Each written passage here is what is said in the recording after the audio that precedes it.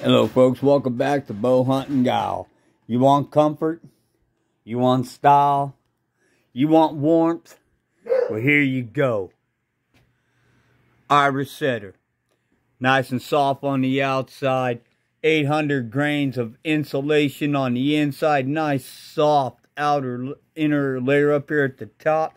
Nice soft tongue elastic right here. Lace up real nice. Fit your feet real good. And I'll tell you what, they're made in Minnesota.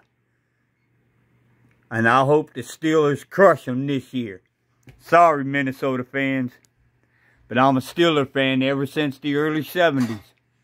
But, like I said in many of my videos, I don't get nothing that I do not support at all. And I support this.